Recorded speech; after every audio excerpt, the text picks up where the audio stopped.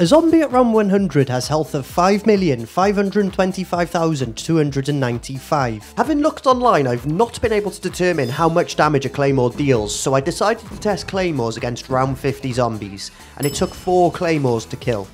At round 50, a zombie has health of 47,073, so dividing this number by 4 gives us the answer of 11,768.25, which we will round up to 11,769, which we can assume to be the rough damage output of a claymore.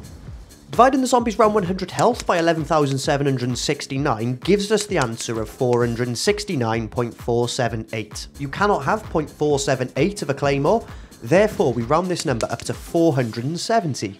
This means you would need to place 470 claymores to kill a single zombie at round 100. Please note that these stats only apply to World at War, BO1, BO2 and BO3 since BO4, Cold War and any potential future COD Zombies games use a different health system. And as always, a big shout out to those of you who are in the Members Club supporting the channel. If you'd like to become a part of the Members Club, then you can do so through the link in the description or through the join button below.